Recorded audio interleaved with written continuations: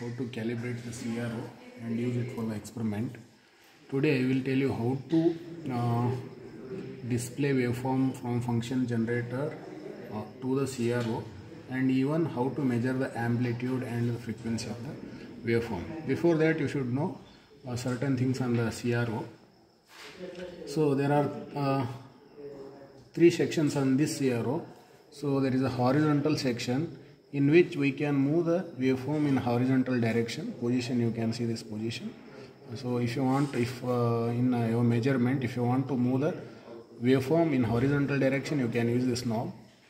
And so there is a time division knob. So you can change the width of the waveform by varying this. As you can see, uh, if you rotate it on right side, uh, waveform becomes uh, bigger and bigger. Like in a uh, time division, if you rotate like uh, left side, uh, waveform becomes compressed. So you can use this uh, for uh, movement of the waveform in a horizontal direction or this one you can use for moving the waveform. And uh, you will have these things in a vertical direction if you want to move the waveform in vertical direction. So here is a knob.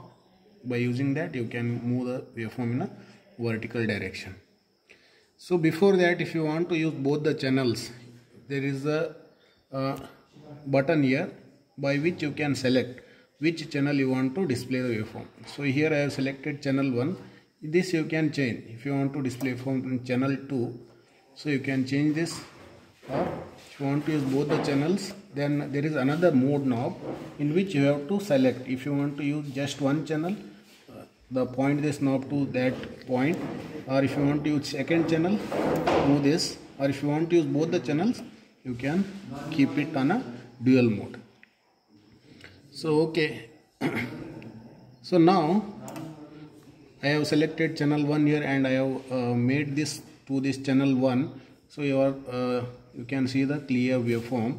And I have connected this CRO probe to the function generator now if I select this mode to channel 2 see you cannot see the waveform because uh, it is taking the signal for channel 2 but I have connected the signal for channel 1 so if you change this if you connect your uh, channel 2 CRO probe then you can see that waveform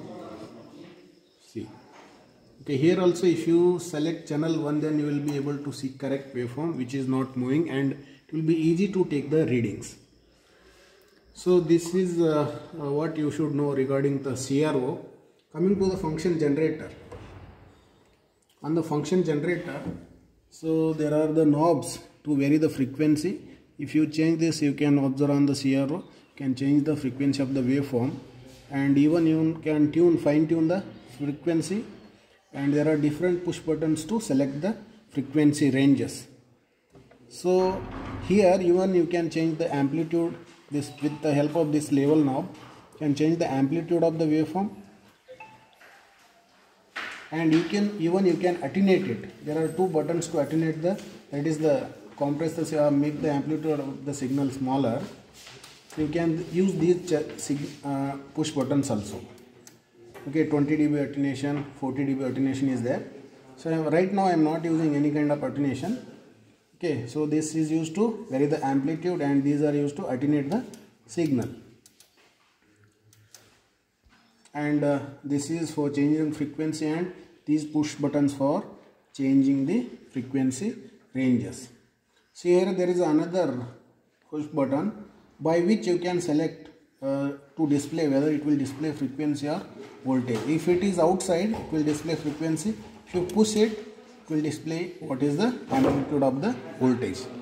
So i'll keep it for frequency. And uh, I'll keep 1 kilohertz frequency here. Approximately I'll keep 1 kilohertz frequency by wearing this knob. Okay now let us check how to measure the amplitude of the waveform. So here there is another knob to select whether you want to display uh, measure AC signal or DC signal or ground. So since you are uh, giving AC signal uh, keep it on the AC point okay? Now I will measure the amplitude. So to move this waveform up and down what you will be doing you will use this position vertical position.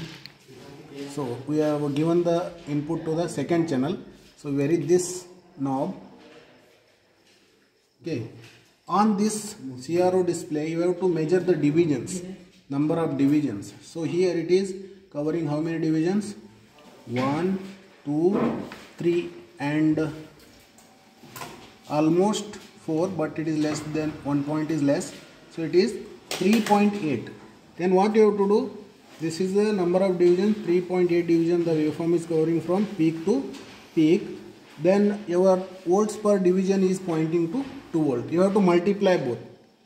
3.8 divisions into 2 that will be our amplitude. Now how to measure the frequency? To measure the frequency you take the division uh, on a uh, x-axis that is along the horizontal direction. Measure from one peak to another peak. To vary this or to move this waveform in a horizontal direction use this knob. Now as you can see it is exactly on this line. From one peak to another peak it is covering exactly one division. So one division and multiply it with this time division. So it is pointing to 1 millisecond 1 into 1 millisecond is 1 millisecond. If you want to find out the frequency it is f is equal to 1 divided by t. So t we have got 1 millisecond it is 1 kilohertz.